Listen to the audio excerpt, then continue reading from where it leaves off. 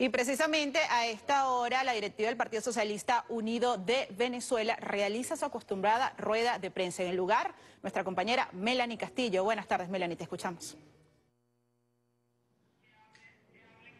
Así es, muy buenas tardes. A esta hora el Partido Socialista Unido de Venezuela da inicio a su rueda de prensa. Escuchemos.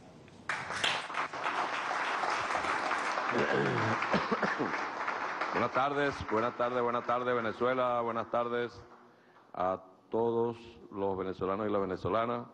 Desde aquí, desde su partido, el Partido Socialista Unido de Venezuela, el partido del comandante Chávez, el partido vanguardia de la revolución bolivariana. Ayer hicimos una extraordinaria actividad con el hermano presidente de nuestro partido y candidato de la revolución bolivariana, Nicolás Maduro de chequeo, revisión del 1 por 10 electoral. 1 por 10 electoral y eso nos, eh, después de esa extraordinaria jornada, nos pone a pensar que este es uno de los, quizás el 1 por 10 que, que va más ajustado a los tiempos, va más ajustado a las propuestas y va más ajustado a los planes que hemos hecho en estos 25 años de revolución. Una manifestación extraordinaria en todo el territorio nacional, 15.804 VH conectadas al mismo tiempo con el hermano presidente en una jornada especial, él dio algunas orientaciones, pasamos ahora en la maquinaria del 1 por 10 más la maquinaria 5 por 5, pasamos al 1 por 10 por 7. 1 por 10 por 7 y fueron incluidos ahora las bases de misiones, misiones y grandes misiones, perdón, misiones, grandes misiones y bases de misiones y fueron incluidos los pueblos originarios como uno de los vértices este, de este 1 por 10 por 7, que cabalísticamente hablan de 70, que es el 70 aniversario, 70 años del comandante Hugo Chávez el 28 de julio. Tenemos razones para estar contentos nosotros, muchas razones para estar satisfechos, muchísimas razones porque tenemos los pies sobre la tierra, los pies sobre la tierra. Todo lo que hemos venido haciendo va con los pies sobre la tierra, marchando como lo habíamos planificado. Mañana cumplimos apenas cuatro semanas, ¿eh? Mañana, cuatro semanas. Y ahora arrancamos esta semana, estén pendientes, probablemente el miércoles en la mañana estemos dando una rueda de prensa para informarle a todos los movimientos sociales, a todo lo que está en, el, en ese 7, en el 1 por 10 por 7, cómo vamos a registrar su 1 por 10. Cómo vamos a registrar nuestro 1 por 10. Eso lo vamos a anunciar probablemente el miércoles en la mañana. Si está listo mañana, buscamos un espacio mañana. Pero todo indica que será para el día miércoles temprano, que demos una rueda de prensa con esta información. Eh, atentos, que ahí debemos dar toda, todos los detalles, pues para el registro del 1 por 10, por ejemplo, de los trabajadores y trabajadoras. Por ejemplo, de los motorizados y motorizadas. Por ejemplo, de ¿De qué? De los pescadores y pescadoras. Por ejemplo, de las mujeres.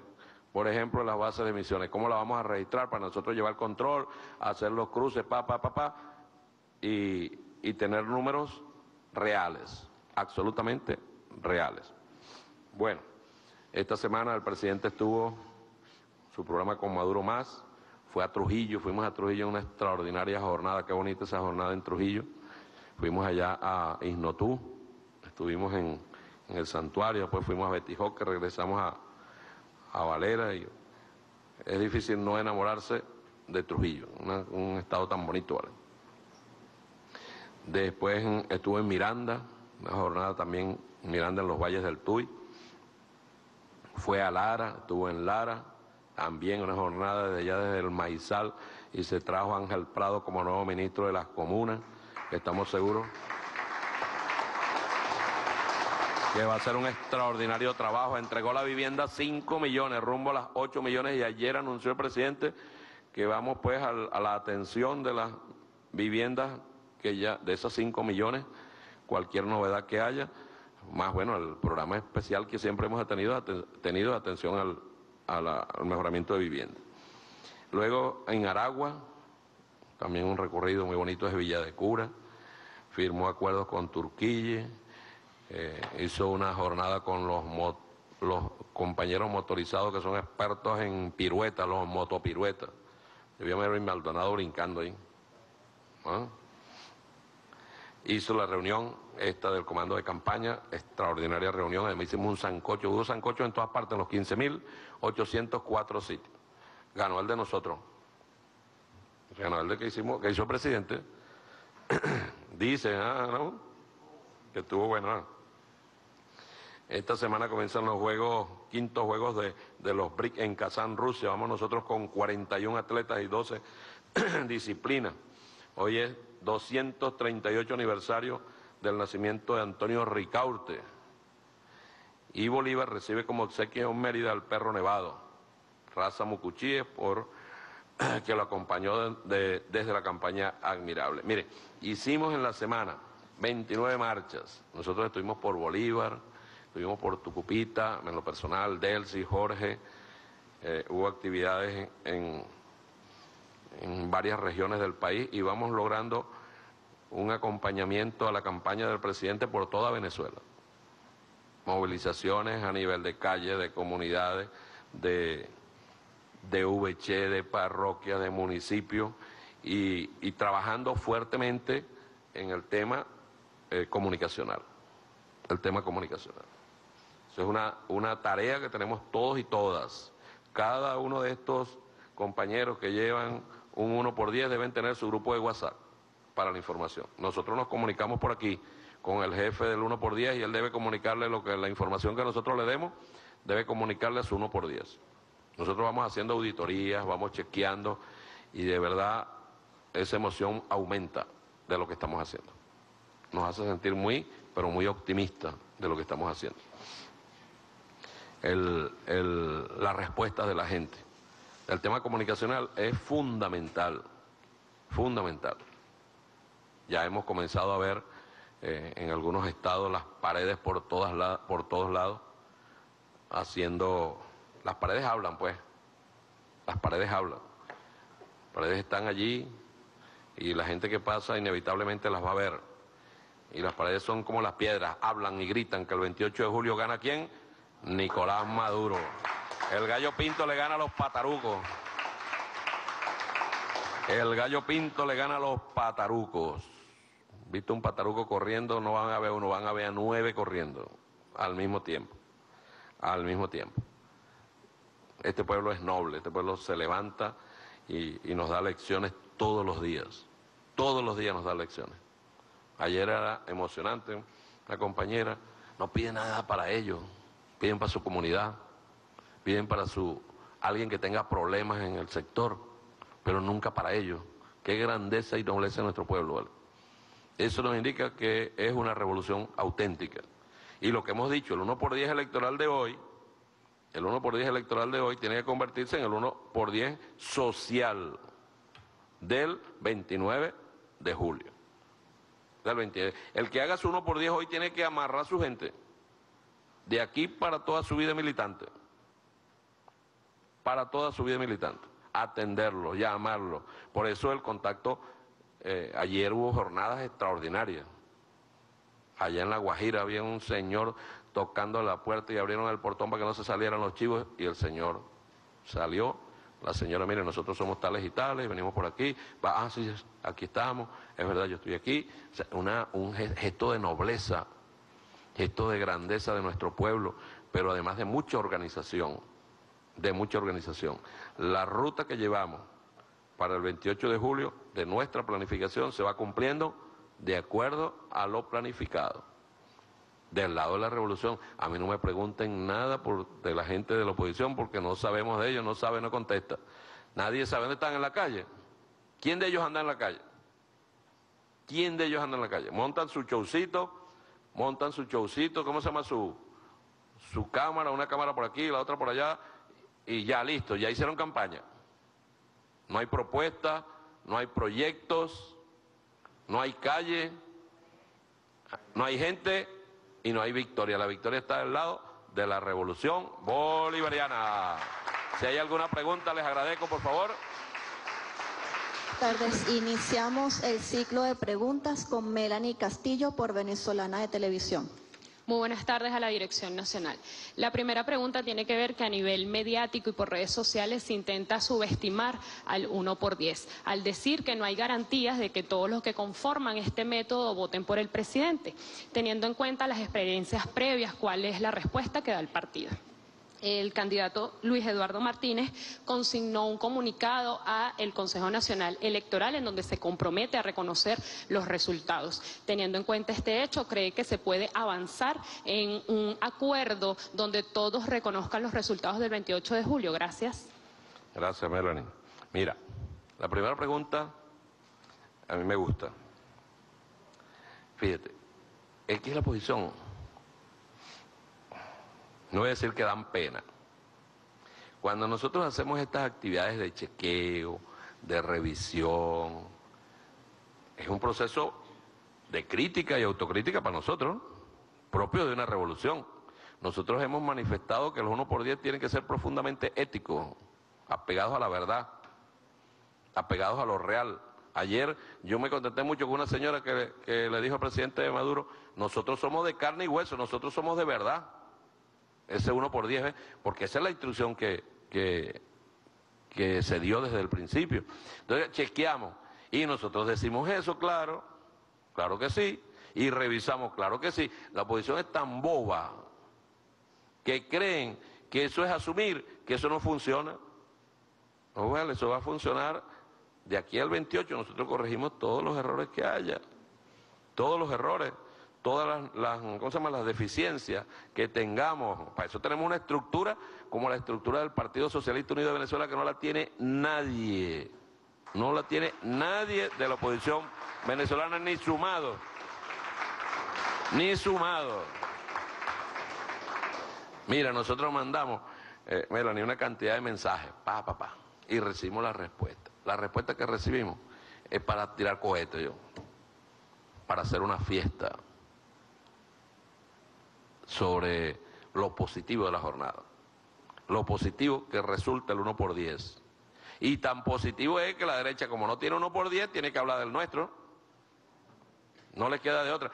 No lo vamos a enseñar cómo se hace. Por eso lo hemos hecho, como dijo el presidente ayer, en silencio ha tenido que ser para que sea. Calladito. La sorpresa que se van a llevar. Claro, ninguno de ellos después va a reconocer que habló paja del 1 por 10. Y ustedes qué van a decir, no, es que la maquinaria del PSUV hace trampa. No es trampa, es pueblo organizado que va a salir a votar por Nicolás Maduro Moro. Con respecto a lo que dijo Luis Eduardo Martínez, eso es lo lógico de un proceso electoral, es lo natural. Es más, es lo natural de la vida, en la vida se gana y se pierde. En la vida hay intentos que son exitosos, intentos que son fallidos. Quien crea que nació solo para tener eh, éxito, bueno, va a chocar con la realidad. Se va a un taparazo en la frente y se va a dar cuenta que no es así. La vida enseña y a veces a golpe. Ya Jorge Rodríguez, nuestro jefe del comando de campaña, propuso un acuerdo, ¿no lo dijo Jorge? Nosotros cada año que hay elecciones no lo proponemos. Y hay unos descarados que van y firman y después que, firman dicen me hicieron trampa, me hicieron fraude. Son farsantes algunos. Bien bueno que este candidato asuma que él va a reconocer los resultados. Primero, que tú vas a un proceso electoral con un CNE y te acoges a las reglas y a las normas que establece el CNE, el órgano electoral. ¿Eh? Vas a auditoría, vas a chequeo, previas, antes, durante y después. Y después. ¿Qué significa esto? Ah, bueno, que salir, salir luego a declarar en contra del organismo en el cual tú aceptaste las reglas de juego es como estúpido. Pero bueno, es la derecha. No podemos nosotros pedirle una mata de ciruela que te dé mandarina porque te va a dar ciruela. Y ellos están acostumbrados a eso, a no cumplir absolutamente con nada. Ojalá que esto que dice Luis Eduardo Martínez sea copiado por otros, eh, otros candidatos. Son nueve, son nueve, ya que faltan ocho, pues.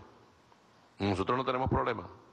Siempre lo hemos dicho y ya Jorge lo planteó ante el país de la firma un documento para reconocer los resultados que emite el CNE. Gracias, Melina. La segunda pregunta la realiza Ilene González por Canal I. Buenas tardes a todos los miembros Buenas del tardes. partido. El presidente Nicolás Maduro en reiteradas oportunidades ha denunciado que un sector de la oposición cantaría fraude si eh, los resultados de las elecciones presidenciales no son los que ellos esperan. ¿Qué decir al respecto? Y por último, hace unos días eh, los gobiernos de Colombia y Brasil anunciaron que no enviarán observadores para los comicios del 28 de julio. ¿Qué decir al respecto de estas acciones? Gracias. Gracias, Irene. Eh, no nos, no- es una conducta propia de la oposición ir a elecciones. Hemos hecho 30. Esta será la elección número 31. Revisa todas las anteriores donde ellos perdieron y cuál ha sido su respuesta posterior a los resultados del CNE. Fraude. Revisa cuántos de ellos se comprometieron a entregar las pruebas de ese fraude. Revisa cuántos cumplieron en entregar las pruebas de ese fraude. Cada vez que hay una elección que la oposición pierde, sale diciendo que ellos no van a reconocer los resultados. Salen diciendo que les hicieron fraude. Salen diciendo que van a entregar las pruebas. Creo que los más famosos han sido Ramos Aluc, Enrique Mendoza y Ocarí. Ah, bueno, y, Capriles. Creo que han sido los más famosos. Diciendo que van a entregar las pruebas, que van a consignar las pruebas ante los tribunales, ante los organismos competentes. Nunca lo hacen. Han ganado dos veces. Ahí sí reconocen al CNE cuando ganan. Cuando pierden, no lo reconocen. Una conducta ambigua. Una conducta que deja mucho de- que desear de alguien que, se dirige un país o que quiere dirigir un país por la vía electoral o a un Estado por la vía electoral. Hay cantadores profesionales de fraude. Todos, todos militan en la oposición. Todos y todas. El 28 de, de julio estamos seguros que esa película la vamos a repetir, la va a repetir la oposición. No tenemos ninguna duda sobre eso. La respuesta nuestra va a ser asegurar la victoria, una victoria perfecta, antes, durante y después. Una victoria perfecta incluye como componente fundamental, debe ser avasallante, esplendoroso, una victoria por todo lo, lo amplio que se pueda y luego que garantice la paz. Nosotros vamos a garantizar la paz después del 28, no vamos a permitir, no solo después del 28, antes tampoco vamos a permitir ni violencias, ni guarimbas, ni llamados a- al odio, ni llamados al odio, manifestaciones de llamado al odio contra una persona, contra una institución, no los vamos a permitir. Una fiesta electoral de esta naturaleza, donde se va a elegir al presidente de la República, bueno, que se pongan de acuerdo ellos, nosotros nos pusimos de acuerdo hace tiempo nuestro candidato, los peleados son ellos, pues, y ellas. Con respecto a Colombia y Brasil, ellos se lo pierden. Deberían venir a Venezuela para que vean cómo se hace una elección, para que vayan aprendiendo cómo se hace una elección. Porque no es fácil aprender a hacer elecciones. No, no es fácil. Algunos dicen que no tienen tiempo. Bueno, es un problema de cada país, pero deberían venir para que aprendan del, del mejor CNE del mundo y del mejor pueblo del mundo a hacer elección. Igual están invitados, todos los que quieran. Siempre y cuando respeten las normas del organismo electoral. Gracias. La última pregunta la realiza Fabiana Márquez por la agencia Venezuela News. Buenos días. El presidente Nicolás Maduro denunció que la oposición ha contratado sicarios para hacerle daño. Sobre esto, ¿han avanzado las investigaciones y qué acciones se piensan tomar para evitar que ese sector violento cumpla su objetivo? Y como segunda pregunta, me gustaría conocer cuál es la visión del partido sobre la propuesta hecha por Edmundo González sobre convocar una constituyente y aplicar una supuesta justicia transicional en hipotético caso de ganar las elecciones y si cree que eso implique una persecución hacia las fuerzas del chavismo. Muchas gracias. Gracias, Fabiana. Mira, cada vez que el presidente anuncia la presencia de sicarios, de asesinos a sueldo, de terroristas, la oposición dice, eso es mentira, porque ellos creerán eso, creerán eso si ocurre un desastre en Venezuela. Ahora, es público, notorio y comunicacional que un 4 de agosto le explotaron al frente del presidente unos drones cargados con explosivos. Fueron, resultaron heridos una cantidad importante de militares que estaban allí en la parada militar. Eso lo ha negado la oposición.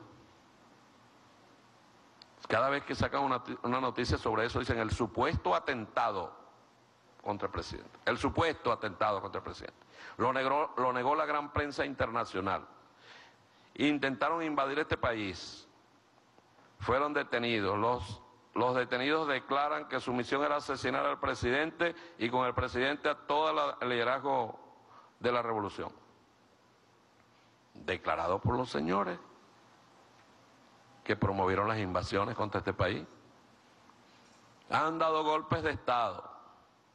Lo niega la oposición, borran de internet todo lo que, lo que los relaciona a las fotos allá en, en Altamira en el distribuidor. Esta nueva denuncia viene acompañada de que a finales del año pasado, entre julio, no, entre mayo, entre mayo del año pasado y diciembre fueron detectados al menos cinco intentos. Eh, las declaraciones las ha escuchado el país. Una persona que dice, no, mi misión era llegar al palacio, tomar el tanque, meter al presidente, bueno, y, y ajusticiarlo. Gente está, declaran los detenidos, siempre con vinculaciones con grupos de la derecha. A mí me contactó Julio Borges, la mayoría, eh, la mayoría de ellos contactados por Julio Borges, Leopoldo López, sectores de la derecha. El presidente hace este anuncio y lo, y lo hace con toda la seriedad del caso. No esperemos que ocurra, nosotros no vamos a esperar que ocurra un desastre en Venezuela. Nosotros vamos a actuar. Por eso te digo que no vamos a permitir violencia, no vamos a permitir eh, manifestaciones de odio de ninguna naturaleza, de ninguna naturaleza. Con respecto a la propuesta de este pataruco, del grupo de los patarucos, eh, la derecha, nosotros sabemos cómo actúa la derecha. Nosotros sabemos cómo actúa la derecha. Nosotros sabemos de lo que son capaces. El pueblo de Venezuela los vivió del año 58 al 98. ¿Cuántos venezolanos fueron muertos, desaparecidos? 11.300 en una cuenta, de los cuales 3.000, Fabiana, todavía no aparecen. Este caballero, Pataruco, fue encargado de negocios en El Salvador,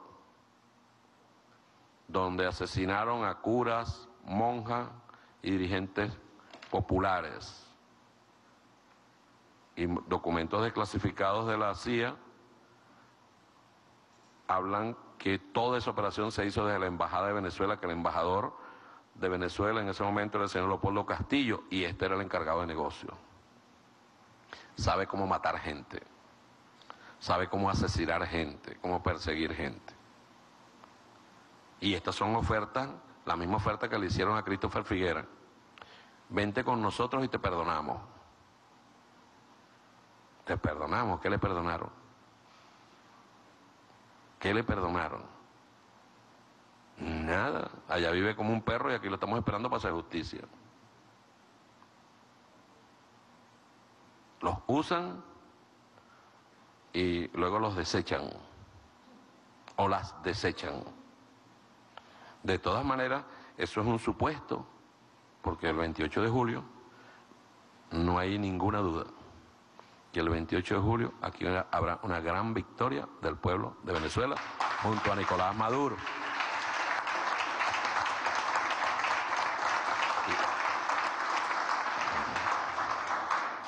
Y como hemos dicho, aquí a ver, estamos en una transición, la transición al socialismo,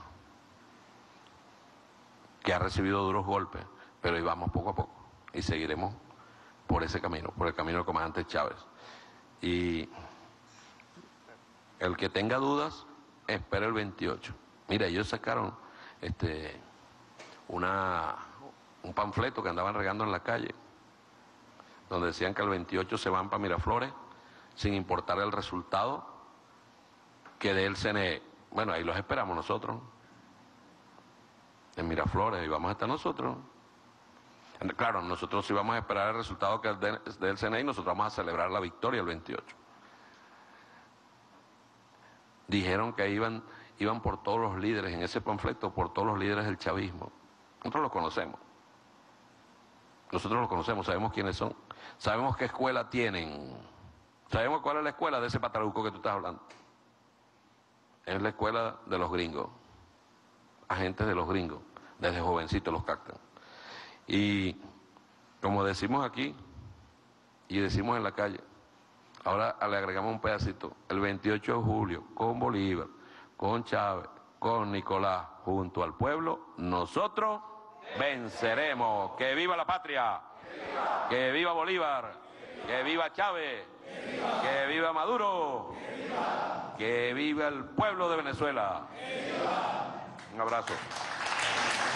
Así es, desde la jornada se indicó que el 1 por 10 por 7 une las experiencias pasadas con las nuevas potencialidades como son los CLAC, comuna, consejos comunales, entre otros, para garantizar mayor votación por el candidato y presidente de la patria, Nicolás Maduro, asimismo que se avanza de forma firme en la conformación de esta metodología. También se indicó que la oposición está desesperada, que no cuenta con el respaldo popular y por eso mismo cantarán fraude. Es la información y con ella vamos a retornar este contacto. Adelante.